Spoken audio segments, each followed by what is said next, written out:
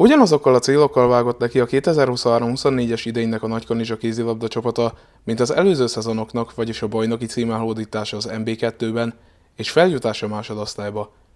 Következő 30 perces műsorunkban a Délzalai Gárda tavaszi szezonját mutatjuk be, a mérkőzések összefoglalóin és a játékosokkal, valamint a szakvezetéssel készített interjúkon keresztül.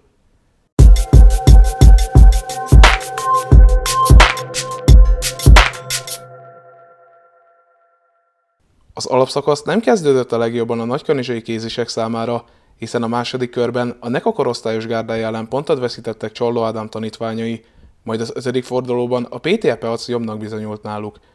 Ezt követően viszont belendültek a délzalaiak, és zsinórba a hadgyőzelmet aratva az érre is álltak az őszi szünet végére.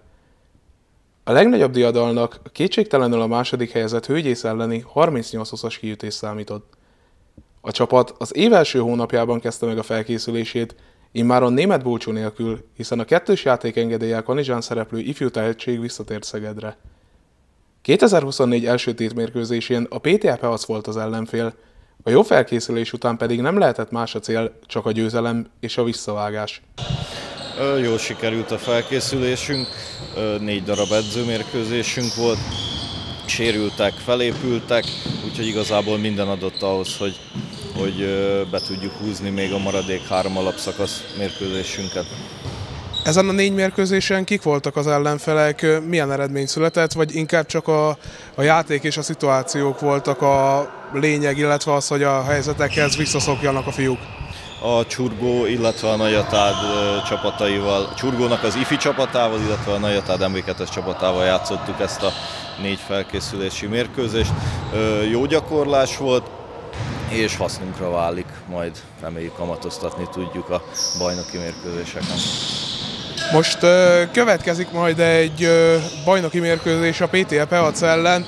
Ősszel kikaptak a Pécstől, az az egyetlen vereségük. Hogyan emlékszik vissza arra a találkozóra? Mi az, amit ki kell javítani szombaton délutánig? Ahhoz a találkozóhoz képest sok mindent ki kell javítani, viszont úgy gondolom, hogy nem a, nem a, nem a reális arcát mutatta ott a csapat, úgyhogy bizakodó vagyok a hétvégével kapcsolatban, mindent megteszünk, hogy, hogy javítani tudjunk ellenük. A keretben, ha jól tudom, akkor egy változás történt, ugye német Bulcsó eligazolt, mennyire jelent problémát az ő távozása? Úgy gondolom, hogy nyilván jó volt, tehermentesíteni tudtunk több játékost azzal, hogy ő nálunk szerepelt, viszont meg fogjuk tudni oldani a pótlását, ahogy az előző években is megoldottuk. Van arra esetleg szansz, hogy tovább bővül majd a keret a tavasz folyamán, tehát kettős játékengedéllyel, vagy akár szerződéssel érkezhetnek játékosok? Jelen pillanatban így állunk neki, ahogy, ahogy most vagyunk, ahányan vagyunk. Négy felkészülési mérkőzés vívtatok, hogy láttad a felkészülés során, mennyire maradt meg esetleg a rozsda a kihagyás miatt a csapatban, mennyire sikerült visszanyerni a formát a szezon rajt előtt? Úgy érzem, hogy ez a négy mérkőzés jól szolgálta a felkészülésünket. Szerintem meccsről mestre egyre jobban játszottunk. Remélem, hogy ez a hétvégén is megmutatkozik, itt tudjuk majd a legjobb játékunkat nyújtani. A PTL Peac következik, visszavágóként is van hirdetve a médiában, illetve a csapat oldalán a mérkőzés. Mennyire füt benneteket a visszavágás azután a Pécsi meccs után? Hát nyilván szerintem a csapatban mindenkiben megvan ez a visszavágási vágy. Szeretnénk ö, megnyerni a mérkőzést, és ö, minél több pontot vinni a rájátszásba, hogy esünk le az 1 Mire lehet számítani a PTL Peac ellen? Általában azért kemény ellenfél 45-50 percig ez a csapat.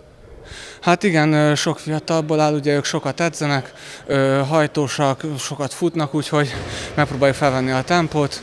Annyi az előnyünk szerintem, hogy mi sokkal rutinosabbak vagyunk, mint ők. Szerintem több csatát megéltünk, úgyhogy remélem nem lesz gond, hogy győzelemet megszerzük.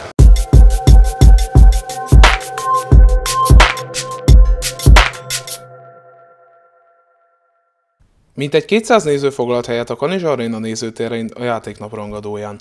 Az első percek kiegyenlített játékot hoztak, kezdetben a pécsiek Forgás Dávid vezérlétével vezettek is, majd Kovacsics remek teljesítményének köszönhetően fordított a Nagykanizsa. Az első félidő végére a hazai fédekezés is feljavult, és Kovács András is több bravúrt tudott bemutatni a kapuban, így 20-16-tal mentek szünetre a csapatok. A fordulást követően megint a pécsiek percei következtek, és mínusz egyért is támadhattak a vendégek. Kovacsis labdaszerzését követően azonban kiharcolt egy kiállítást a Nagykanizsa, ami döntőnek bizonyult, hiszen Csolló Ádám csapata onnan már nem engedte ki a kezéből a meccs irányítását. A végén már csak az volt a kérdés, hogy lesz-e közte 10, de az utolsó volt a pécsiek lőtték, kialakítva a 41-32-es végeredményt. A hazaiak legjobb góllövője a születésnapját ünneplő Csordás Marcel volt 9 találattal. A látottakkal Csallo Ádám érthetően elégedett volt, és hasonló folytatást várt a tréner az alapszakasz további két meccsére, valamint a rájátszásra. Ameddig ilyen 40 gól körül lövünk, addig nagyon problémánk nem lehet, úgy gondolom. Kapott gólok száma az nyilván lehetne kevesebb.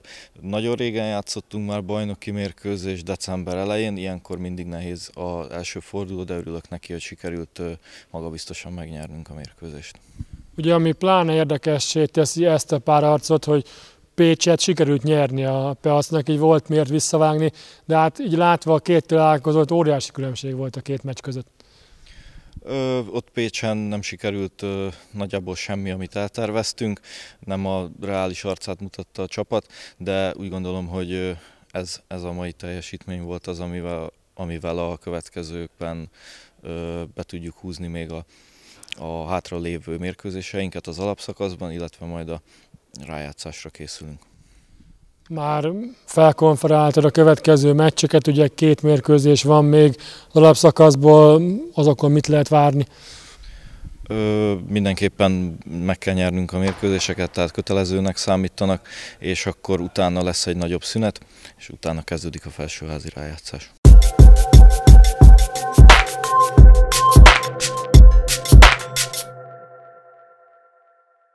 A Pécs legyőzését követően két idegenbeli mérkőzést is sikerült győzelemmel abszolválni. A meccsek nádast kemény ellenfél volt, így egy gollal győztek a kanizsaiak, majd jött egy 30-25-ös siklósi siker. A kanizsai csapat 25 ponttal megnyerte az alapszakasz küzdelmeit. A szabályok értelmében a kanizsaiak az első négy ellen szerzett pontjaikat magukkal vitték a rájátszásba, ahol a Szászholombatta, a Csepel, a Tököl és az Ér csatlakozott az E csoport négy legjobbjához. A szászalombattaiak pont előnyel kezdték a folytatást, és a különbség a Csepel elleni 37-30-as vereséget követően tovább nőtt.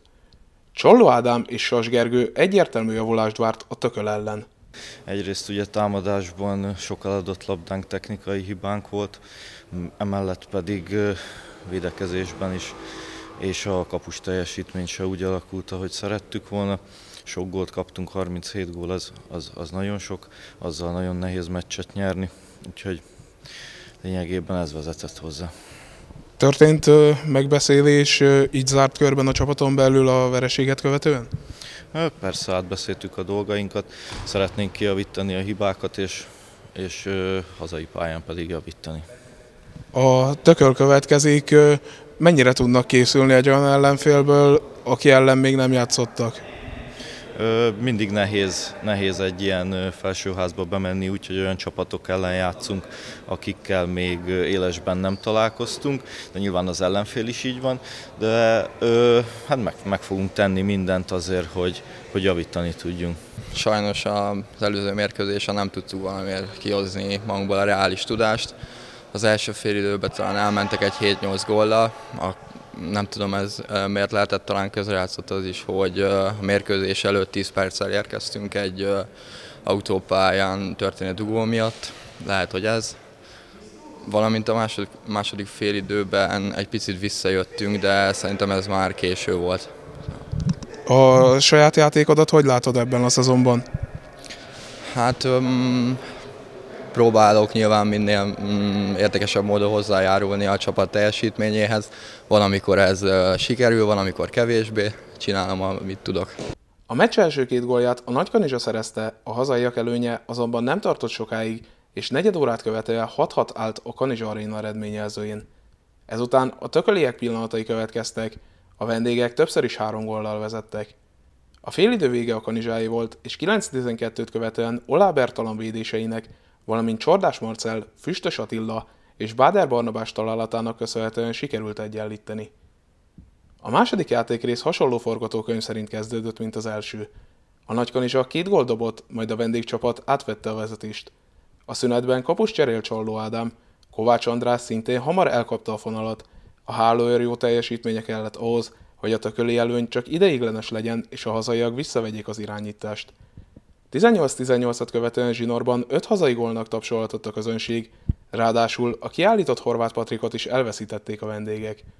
A tököl mínusz 5-ről is képes volt hármat ledolgozni a hátrányából, ám a véghajrá megint a kanizsaiaké volt, akik 30-25-re nyerték a mérkőzést.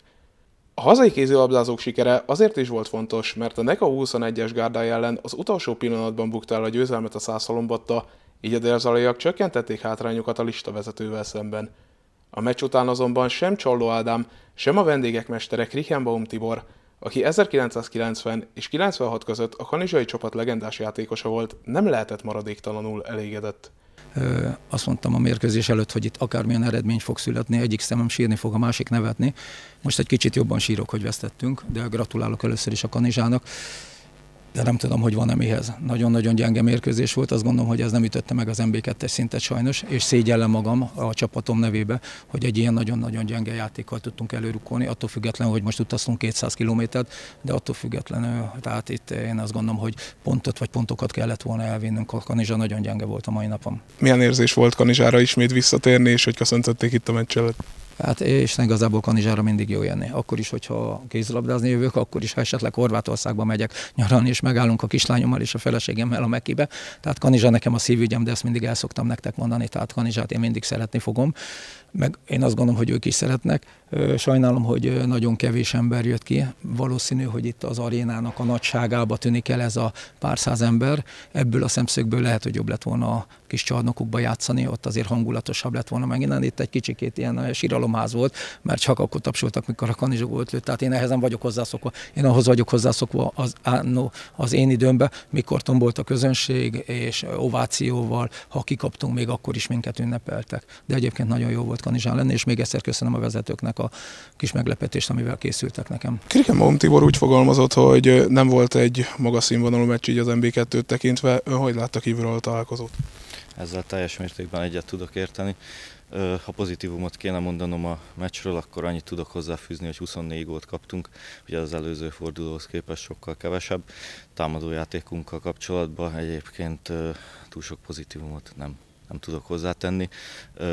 Szerintem, ha ha reálisan nézzük a meccsképét, akkor legkésőbb a második félidő közepe körül el kellett volna ezt döntenünk, és csak is magunkat hibáztathatjuk, mert a, csak az ittszereket, ha belőjük, akkor, akkor ott vagyunk, hogy a végére már nagyon nem kellett volna izgulnunk.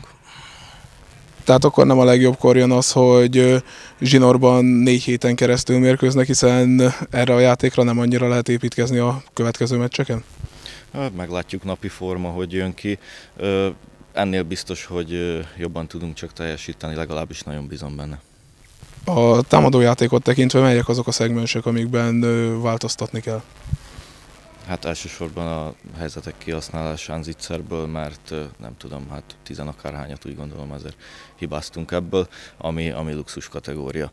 Tehát a felét belőjük, akkor már, akkor már nem kellett volna itt a végén nem az, hogy izgulni, de, de sokkal előbb be lehetett volna fejezni ezt a mérkőzést.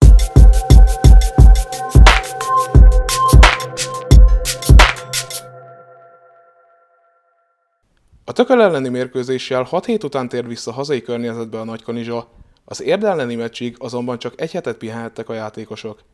Ezúttal is komoly küzdelem volt várható. Hiába várhatta jóval esélyesebbként a rájátszás harmadik fordulóját a Nagykanizsai Gárda, a hatodik percben a Tungsram csarnok közönsége azt láthatta, hogy az ért 3 0 ellépett. Csolló Ádám nem kért időt, és a hazaiak hamarosan kiegyenlítettek, majd 7 hetet követően először a vezetést is átvették, sőt, Füstös Attila révén meg is duplázták az előnyt. A vendégek nem törtek meg, és hamarosan már ők álltak kettővel jobban. A félidő hajrája azonban Füstös Attila és apró Boton miatt a nagykanizsái volt. A két csapat 14-14-ről fordult, az érdiek azonban a kapuban remeklő Kovács Benedek Konstantinnak is köszönhetően megint elléptek, és a 40. percben 20-16-ra vezettek. Ekkor úgy tűnt, véget érhet a nagykanizsai csapat 2021. augusztus óta tartó hazai veretlensége. Veres Máté és Takács Bálint piros lapja, valamint a kapuba visszacserélt Kovács András feljavuló teljesítménye azonban újabb fordulatot hozott. A délzaliak kiegyenlítettek, majd 25-25 után a remekül játszó Bognár Patrik, Opró és a csapatkapitány Kovacsics Ferenc eldöntötte a két pont sorsát.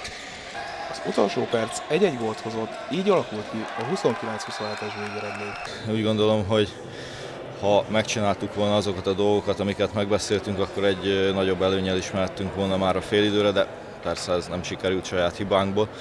Második félidőben már nem gondoltuk túl a támadójátékot, egyszerű dolgokból előnyöket tudtunk szerezni, visszajönni a mérkőzésbe, tudtunk fordítani is.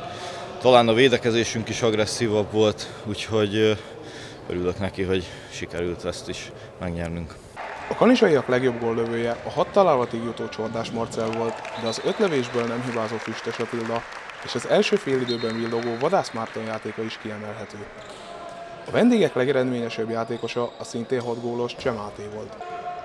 Váraljai Ádám, az érdélyek vezetőedzője úgy fogalmazott, csapata már a felsőházba kerüléssel is túl teljesítette a szezon elejé célját, amely a bennmaradás volt, így büszke arra, hogy harcra kényszerítették a kanizsaiakat.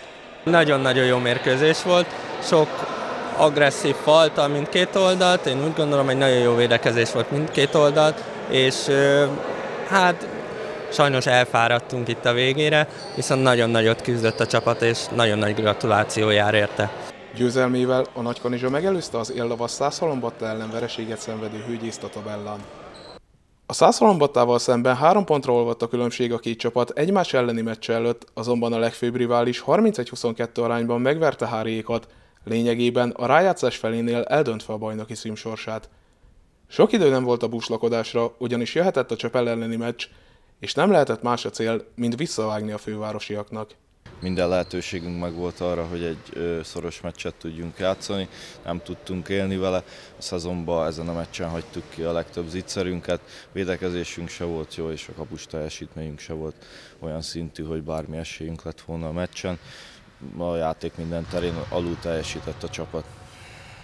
Most 5 pont a hátrány féltávnál, nincs a kanizsaiak kezében a sorsuk. Változott a cél? Így, hogy ekkora most már a lemaradás? Matematikai esélyünk még van. Én bízom benne, hogy ennél már csak jobban tudunk játszani, és mindenféleképpen ennél jobban kell játszanunk, hogy egyáltalán még a vagy hogy versenybe tudjunk maradni, vagy még esetleg, hogy a második helyre be tudjunk érni.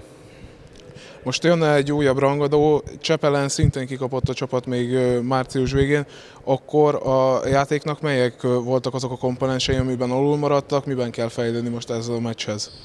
Ha jól emlékszem, akkor ott idegenben 37 gólt kaptunk, az nagyon magas szám, mindenképpen ezt lejjebb kéne valahogy húzni, és helyzeteinket pedig be kell lőni, ilyen egyszerű ez a játék, ebbe kell előrelépni. Hogy látod csapatkapitányként, milyenek a játékosok kilátásai, milyen a hangulat most jelenleg a csapatnál?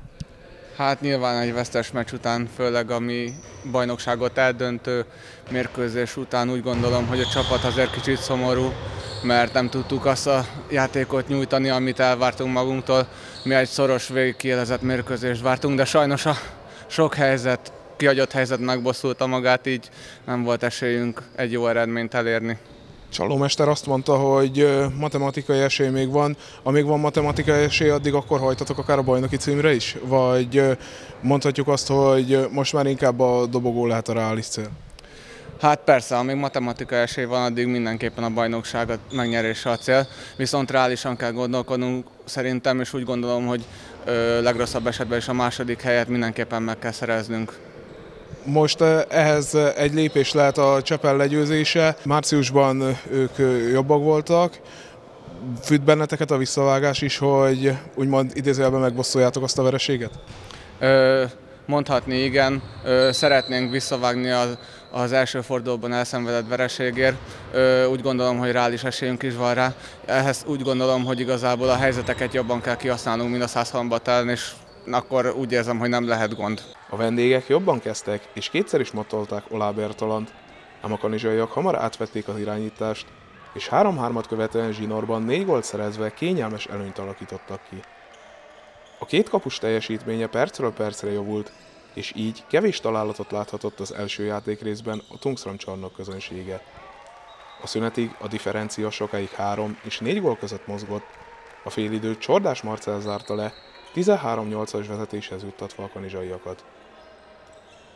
Fordulás után Hári Kristóf növelte hatra a különbséget, majd a kanizsaiak beállósát egyszerre küldték le két percre a Csepeli Kalmár Balázsjal. A felpaprikázott hangulatra jellemző, hogy a Csepeli Tóth Ambrust kirívó szabálytalanság és szövegelés miatt négy perces kiállítással sújtották, és mivel volt már egy kis büntetése, így kizárták a játékból. A kanizsa nem tudott élni a hosszú ember előnnyel, és a különbség nem nőtt, hanem csökkent. Ez leginkább a Csepeli cserekapus Simon Márton érdeme volt, aki több bravúrt is bemutatott. A vendégek mínusz kettőre, később pedig egy gólra is visszajöttek, ám a hazaiaknak mindenre volt válasza. Az utolsó percek aztán valóságos gólpárbajjal értek fel.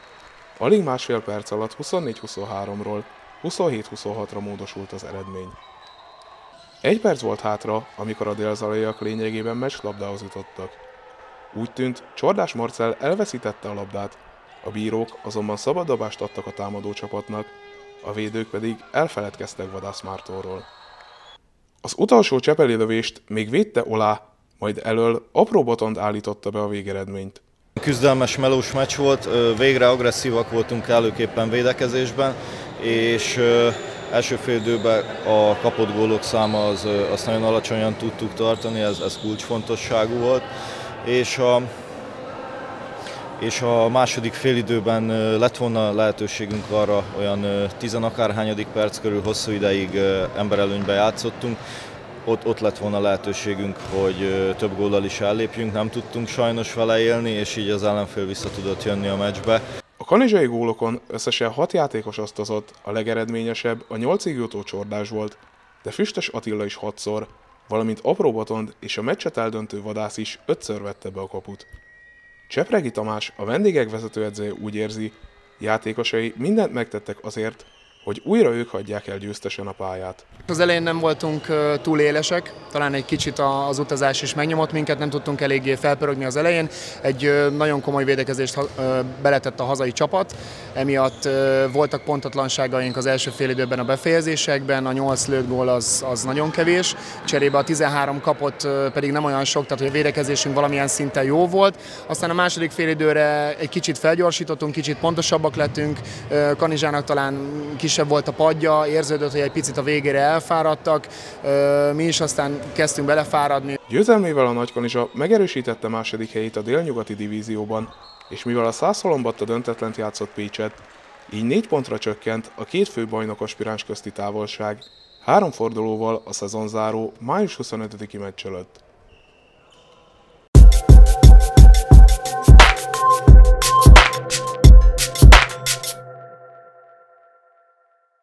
Az újabb szoros győzelmet követően Tökölön és érden lépett pályára a csapat, amely előbb 41-35-re, majd 34-27-re tudott nyerni. A Szászolombatta időközben bebiztosította a bajnoki címet, ám a Prestige szempontjából nem volt mindegy az áróforduló eredménye.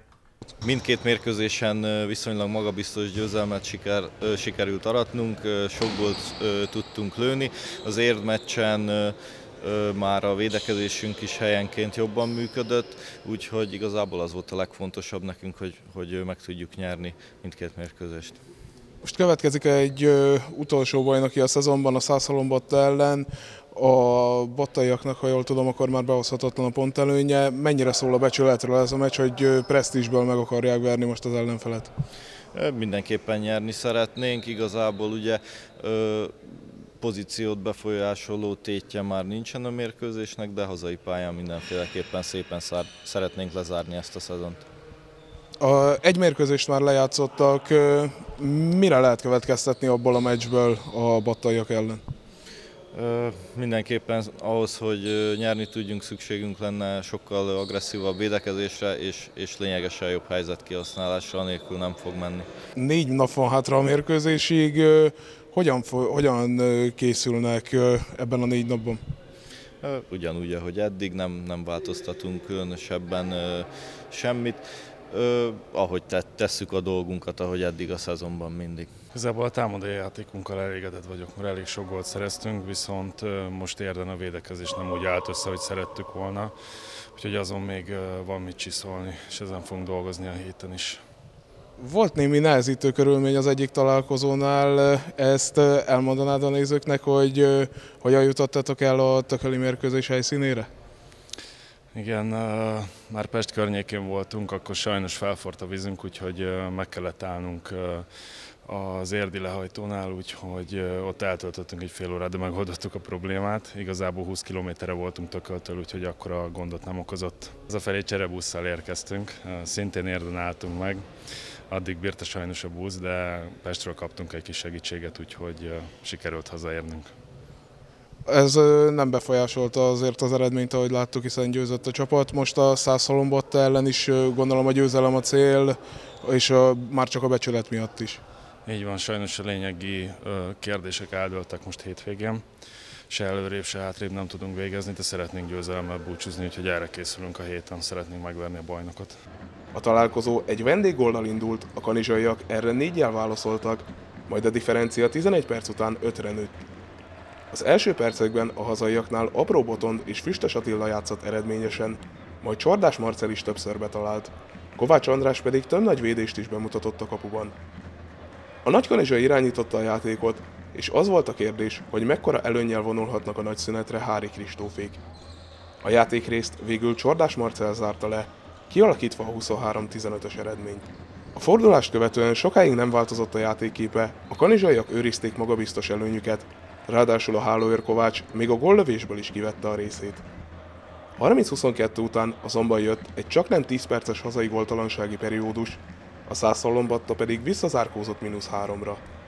A vendégek igyekeztek tovább faragni a különbséget, a hazaiak azonban válaszolni tudtak a góljaikra, és végül három góllal legyőzték az MB2 délnyugati divíziójának bajnokát. Mindenképpen nyerni szerettünk volna a mérkőzésen. Az első fél időben egy komolyabb előnyt sikerült összehoznunk, majd a második félidőre pedig az ellenfél kapus cserélt, ott, ott meggyűlt a bajunk, több helyzetet is kihagytunk, és, és igazából így alakult ki ez a végeredmény. A százszalombattaiaknál néhány kulcsjátékos sérülés miatt nem tudott pályára lépni, de a vendégek így is győzelmi reménnyel utaztak Nagykanizsára. Honcsár Gergely vezetőedző szerint a két pont sorsa a hazaiak magabiztosabb előnye ellenére is a hajrái kérdéses volt. Ha jól emlékszem, 8 gólos hátrányjal vonultunk a, a, a szünetre. A második félidőben összeszedtük magunkat, visszajöttünk a mérkőzésbe, és bár ugyan két góllal kettővel vagy három góllal kikaptunk, úgy gondolom, hogy reális esélyünk volt arra, hogy visszajöjjünk a mérkőzésbe. Jól tartotta magát a kanizsai csapat, és ezt nem engedték meg nekünk. A kanizsaiak legeredményesebb góllövője Csordás Marcel és Apró Botond voltak 6-6 góllal, de Füstös Attila és Hári Kristóf is ötször vette be a kaput. Báder Barnabás a második időben lépett pályára, a fiatal szélső két fontos találatot szerzett. Mondhatni viszonylag jó volt, az első helyzetemet sajnos kihagytam, de a többit tudtam értékesíteni, szerintem a védekezés az megfelelő volt, szóval ki tudtam szolgálni a csapatot, amivel én nagyon örülök. A lefolyást követően a két csapat játékosai átvették a teljesítményükért járó érmeket. Adásunkat hasonlóan decemberi műsorunkhoz egy ügyvezetői értékelővel zárjuk. Musics Robert úgy fogalmazott, a feljutási célt nem sikerült elérni, azonban így is elégedettek lehetnek a mostani szezonnal, hiszen a kanizsai játékosok egy erősen mezőnyben is bizonyítottak. Azt gondolom, hogy nagyon sokan cserélnének ezzel a csapattal, legyen az akár kézilabda, vagy bármilyen más sportág, mert azért azt elmondani, elmondhatja magáról egy csapat, hogy MB2 osztályban 5 év alatt négy aranyérmet és egy ezüstérmet szerez, hát én szerintem nagyon sokan cserélnének velünk. Ezzel együtt azt gondolom, hogy olyan, olyan nagyon nagy hiányérzet nem maradt bennünk, vagy legalábbis bennem, hiszen a csapat mindent megtett, a, hogy mindig győztesen hagyja el a, a, a pályát. Persze voltak hullámvölgyek a játékban, de hát az azt gondolom, hogy pont ezért sport, és ezért kell lejátszani ezeket a mérkőzéseket, és nem, nem papíron döntjük el az eredményeket. És hát ez egy átszervezett bajnokság volt ezt, aki követte, ez mindenki tudja, hogy azért ez nehezebb volt, mert nem csak a megszokott korábbi évek ellenfelé ellen játszottunk, akiket már jól ismerünk, illetve hát ez igaz rájuk is, hogy bennünket is jól ismernek, hanem bizonyít új csapatokkal, és a papíron erősebbnek tűnő Budapest környéki csapatokkal is játszottunk, de jól vizsgáztunk, azt gondolom, hiszen mindenkit sikerült legalább egyszer megverni. Volt olyan ellenfelünk, ugye, akit kétszer is megvertünk a Budapest környékiek közül, közül. Büszkék vagyunk, hogy ezek a, ezek a fiatal játékosok, ezek tökéletesen beilleszkedtek a csapatba, és, és nagyon sokat hozzátettek a játékhoz, és ők itt ismerkedtek meg nálunk a felnőtt, a felnőtt játékkal, mert korábban ők felnőtt csapatban és felnőtt csapat ellen nem játszottak, és nézzük meg ezt a fejlődést, hogy, hogy a második fél évre már egy Szeged vitte el a, a, a bulcsút, illetve a, a Botondot is Veszprémmel már az NB1B-ben fogják játszatni, úgyhogy én bízom benne, hogy az ő, ő nevükkel még nagyon sokat fogunk a későbbiekben majd találkozni,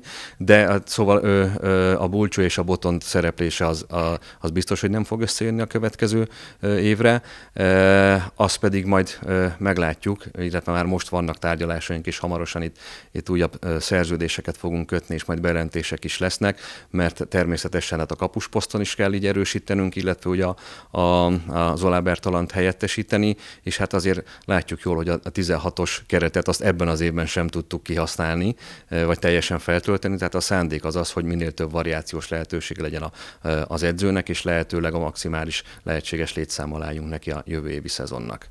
A szakmai vezetésben történhet esetleg változás, vagy ugyanúgy Csalló Ádámmal képzeljük el a jövőt?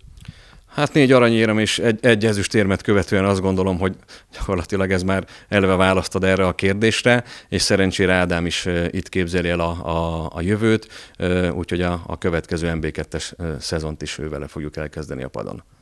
A következő szezon szeptemberben indul, és a Nagykanizsa csapata immáron az új ellenfelek ellen is rutin szerzett, így ismét megpróbálkozhat azzal, hogy 2019 után feljusson az NB1-be.